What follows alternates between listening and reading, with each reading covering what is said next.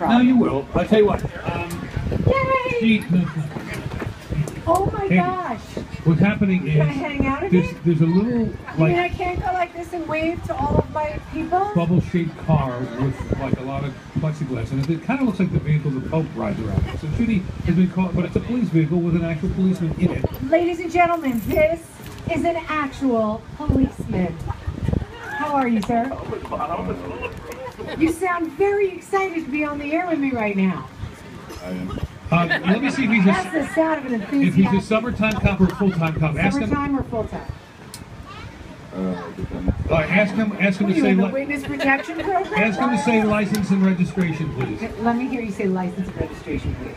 License and registration. Summer cop. Summer cop. okay, so what's your name? Officer Hicks. He pulled out, I thought, he pulled his, his phone out, I thought he was pulling a gun. Alright? I'm not gonna lie, I was a little nervous. Officer Hicks, am I doing anything to offend you? Yes, you talk. Is, am I, bo- am I bothering you? Of course not. Well, let's go for a ride, baby! How When do we many, how many forward middle-aged women do you have hop into your vehicle, Officer